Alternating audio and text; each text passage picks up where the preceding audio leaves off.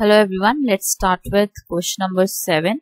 So in this it says students of class 8 of school donated 2401 in all for Prime Minister National Relief Fund. Each student donated as many rupees as the number of students in the class. Find the number of students in the class. तो सबसे पहले यहाँ पे information ये आती है कि total उन्होंने कितना अमाउंट डोनेट किया टोटल डोनेशन हुई है आपकी ट्वेंटी फोर हंड्रेड वन की। अब दूसरी इंफॉर्मेशन उन्होंने ये दी है student donated as many rupees as the number of students उतने पैसे उन्होंने डिनोट उतने ही पैसे उन्होंने दिए हैं, जितने नंबर ऑफ़ स्टूडेंट्स हैं। तो नंबर ऑफ़ स्टूडेंट्स हम मान के चलते हैं कि एक्स है। Let number of students be x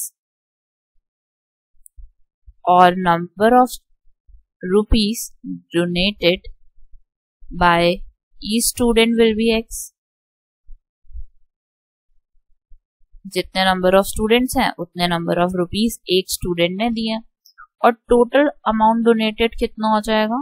X into x total amount donated will be x into x number of students into number of rupees donated so this will be x square इसका मतलब total amount donated कितनी है? Twenty four hundred one अब square को जब आप दूसरी side लेकर जाओगे तो it will become under root तो अब इसका मतलब हमें क्या समझ आया? That we have to find under root of two four zero one तो टू फोर ज़ीरो वन को प्राइम फैक्टर्स लो टू फोर ज़ीरो वन के.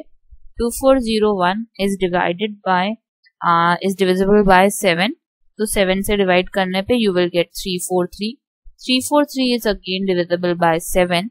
You will get 49. 49 is divisible by 7 again. So you will get 7 at the end.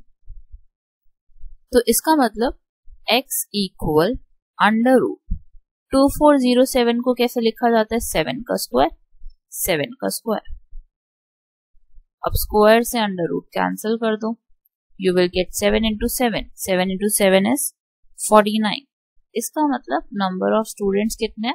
Forty nine और एक बच्चे ने forty nine forty nine rupees ही donate किए। एक एक बच्चे ने फोर्टी नाइन रुपीज़ ही डोनेट किया। So this is your answer for question number seven thank you for watching this please like share and subscribe